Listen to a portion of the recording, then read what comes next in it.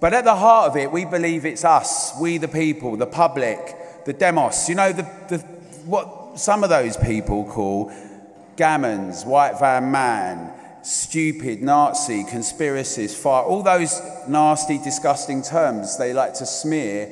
Um, but actually, we think that the real spirit of um, honesty in democracy comes through having a public that's strong and keeping everyone under pressure.